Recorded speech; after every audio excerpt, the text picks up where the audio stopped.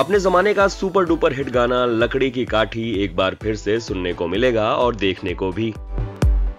बहुत जल्द रिलीज़ होने वाली फ़िल्म हनुमान द दमदार, जो कि छोटे बच्चों की फ़िल्म है, उसमें यह गाना सुनाई देने वाला है और इसका लॉन्च मुंबई के एक थिएटर में रखा गया। इस मौके पर फ़िल्म की पूरी स्टारकास्ट के साथ साथ अभिनेत्री उर्मिला मातोड़कर और अभिनेता चंकी पांडे भी नज़र आए।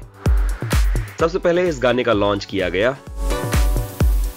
उसके बाद मीडिया से बातचीत के दौरान उर्मिला ने बताया कि जब उन्होंने इस गाने की शूटिंग की थी तो उस जमाने की बात क्या थी if I'm 70 and 80 years old, I think I'll first be known for Lakdi Ki Kati. And I cannot even tell you how amazing it feels. Kids, one of the one, one of them is in my uh, my building itself. He's four or five years old, and he still only knows me from Lakdi Ki Kati. Though every time I meet him, I can see in his eyes ki, but in the song she looks different. So I can't blame him, but you know. But I have to say something and share this with you all that there is not even this much um, credit I should be taking for this song. It's just amazing and it just, uh, you know, makes me.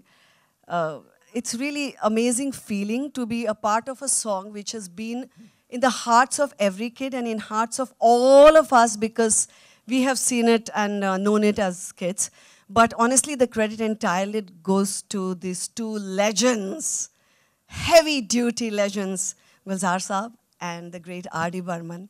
And when you have uh, Shekhar Kapoor directing the song, I think I was just plain lucky.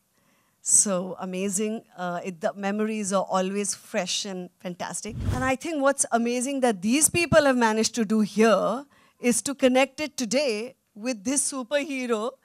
So it connects straight away with the kids. And मैंने गाना देखा है और जो मज, मस्ती और मज़ा इन्होंने गाने में की है मुझे लगता है this is going to be the new age लकड़ी की काठी and that's going to be as exciting Ruchi. हम आपको बता दें कि छोटे बच्चों के लिए हनुमान द दमदार एक एनिमेटेड मूवी है। इसमें आपको लॉर्ड हनुमान के बारे में कई बातें देखने को मिलेंगी।